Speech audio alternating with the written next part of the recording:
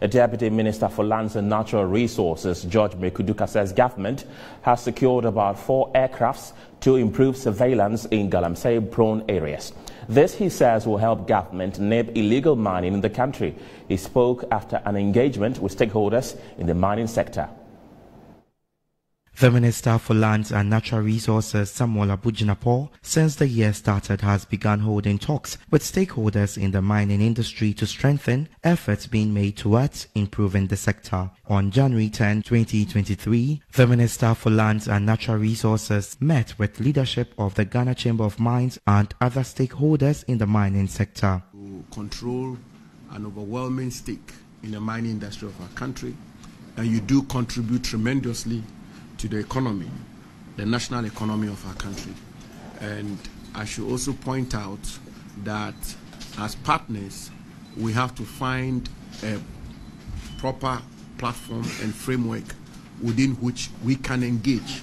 And I believe that that is the spirit uh, with which we've worked uh, over the past two years. President of the Ghana Chamber of Mines shared some challenges bedeviling companies in the mining industry, top of which includes tax and cost of doing business in the country. Some of the new imposts, new tax imposts, uh, potential impact that does on the squeeze, the margin squeeze, um, the fact that our uh, received gold price has basically stagnated uh, all of last year, but our costs have risen significantly, ensuring that our margin has now, the margin gap is now significantly reduced.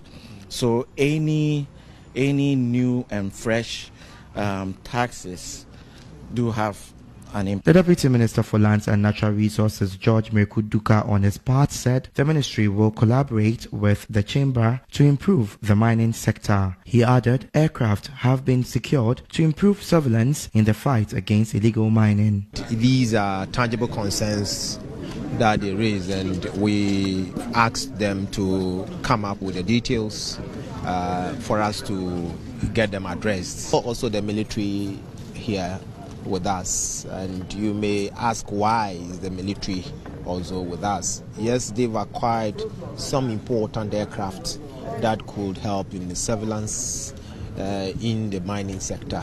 And we want to team up with them as to how we can regulate and uh, mine responsibly in the country. Other participants of the meeting included representatives from Parliament, the military, and the Minerals Commission.